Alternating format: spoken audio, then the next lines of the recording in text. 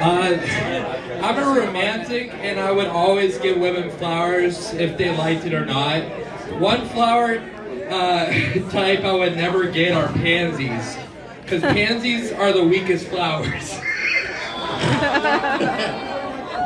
Thank you. I go with roses usually, rough on the outside, sweet on the inside, just like my women preference. Every uh, every time I pick up a rose for Stacy, the rose arose to the occasion, and she loved it.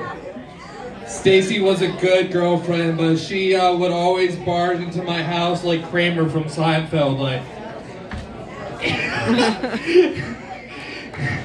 I would always tell her, "Does a doorbell ring a bell?" Um, another problem with Stacy was her family were a bunch of criminals. Like their version of a handshake was chopping someone's hands off and just putting them in a blender and eating them. That totally never happened, guys. Stacy was too sweet. She was too innocent in all this. Stacy had a, a, brother named Mason who uh, wanted to be a mason, but instead sold cocaine. But he says he still gets to move bricks around.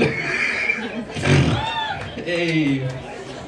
Mason actually gave someone the death stare for trying to short him on his payment, and he ended up dropping dead right on the spot.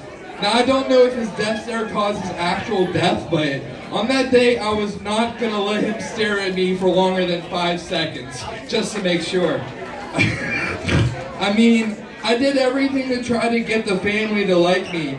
Mason and his family needed a, a new nickname for cocaine. Uh, other than blow, I was thinking,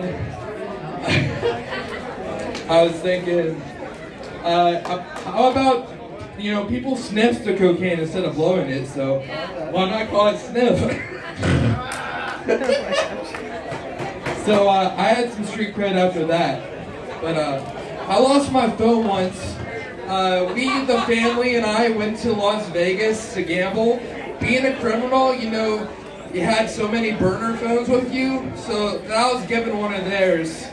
I didn't want this thing for long, but didn't want to tell the squad, so I ended up uh, throwing the phone away in the in the water drain. The next moment, I had a loan, and I got the same brand of phone.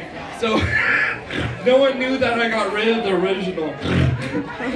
I, I ain't getting tracked by the FBI. Well, not more than they actually track us already.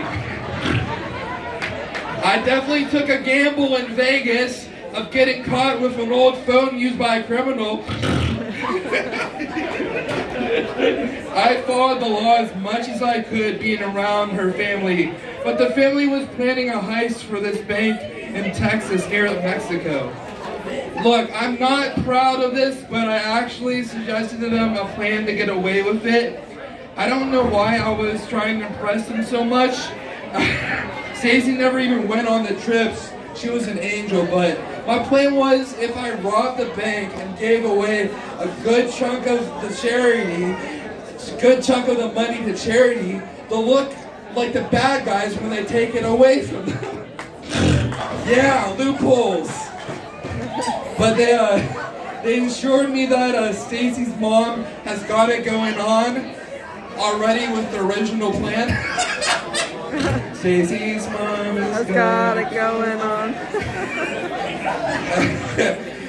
so uh, that was the last day I uh, hung with her family because Stacy's uh, family and her moved to Mexico. And yeah, I, I ain't going to Mexico, man. Yeah, there's good cities in Mexico, but uh, yeah, I'm just not doing it. Thanks for listening. I won't quit my day job.